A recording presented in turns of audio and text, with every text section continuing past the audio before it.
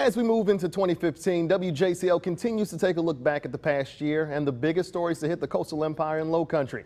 As Chelsea McDonald reports, two major fires seriously impacted business in Jesup and Hazlehurst.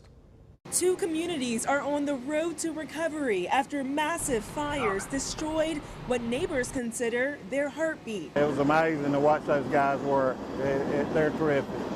I can't say enough about the job that they were doing. In Jesup, city leaders think an August fire started in an air conditioned unit on the roof of the Fairhaven Market. Six businesses and a church gone. We hope to, to build something better and nicer and new air conditioning units and um, and, and then just get this back as soon as we can. The community came together to support and donate to one another. One business owner gave 5% of her sales to the fire fund.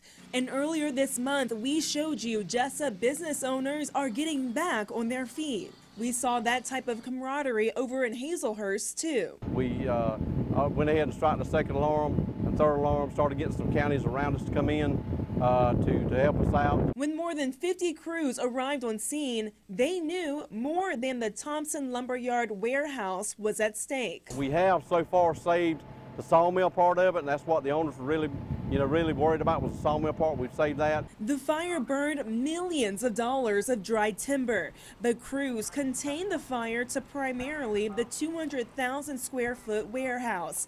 In hours, they lost a building. In just two days, they were back up and running nearly 100%. We got substantial amount of water. You have to have like nine foot of water or more before you can dip. We found 25 feet. Fortunately, no employees were hurt and their jobs didn't go up in smoke with the 100 foot flames. The heartbeat grows stronger each day as both communities continue to rebuild. Chelsea McDonald, WJCL News, working for you.